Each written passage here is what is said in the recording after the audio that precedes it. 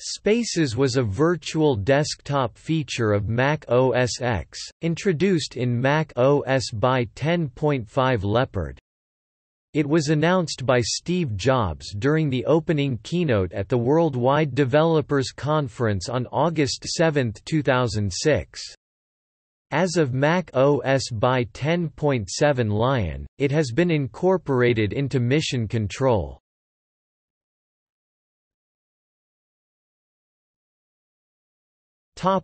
Overview Spaces enables users to create multiple virtual desktops suited to the unique needs or work habits of the user. A user could, for example, create and assign a «space» to office work, enabling him or her to leave a work-related application such as a word processor or a spreadsheet running full screen and then switch to a different space designated for browsing the Internet or navigating file structure in Finder windows. Up to 16 spaces can be created, and applications can be bound to specific spaces. There are various ways to navigate between spaces, including user-configured, function key combinations, hot corners via Exposé, or by dragging windows and applications—in the direction of the desired space, to the corresponding edge of the screen and holding for a moment until the space switches. The dashboard functions as a separate space, on the left of the other spaces by default.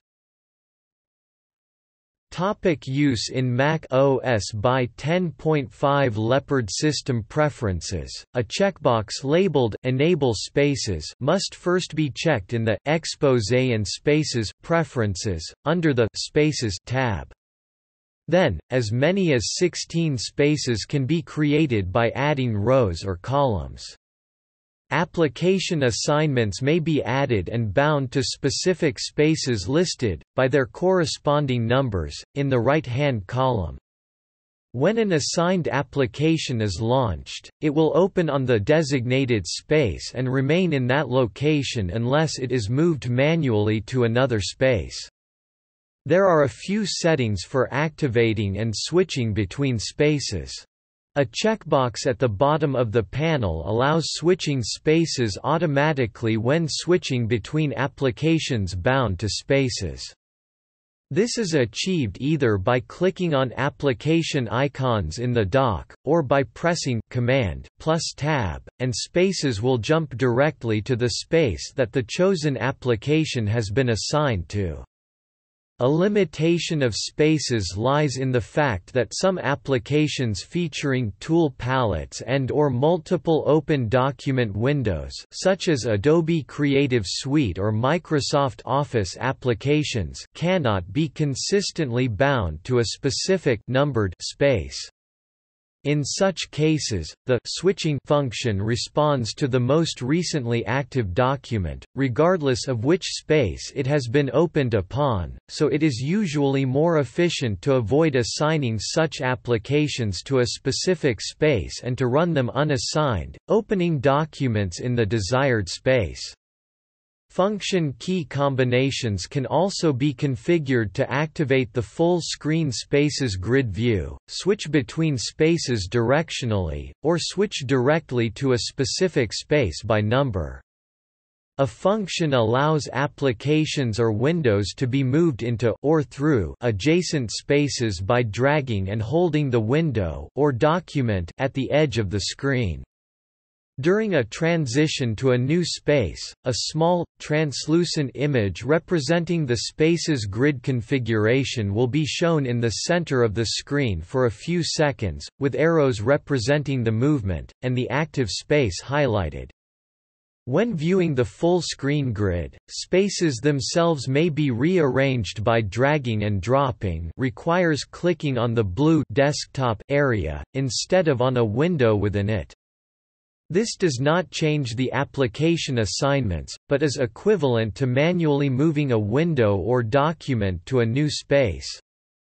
The application will retain its assignment and when launched at a later date, will run on the originally assigned space.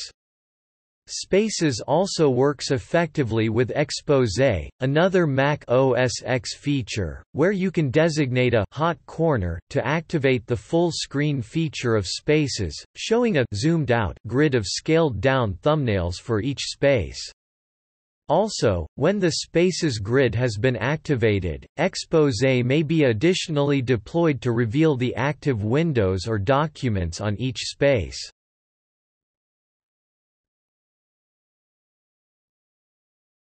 Topic: Comparison. Although Spaces was a new feature for Mac OS 10.5, virtual desktops existed for quite some time on other platforms, such as Linux, Solaris, X and BeOS. Virtual desktops also existed for Windows and for the Mac OS via third-party software, and it has been a standard feature on Linux desktops for a number of years. The first platform to implement multiple desktop display as a hardware feature was the Amiga 1000, released in 1985. Virtual desktops were finally added to the Windows platform with Windows 10 in 2015.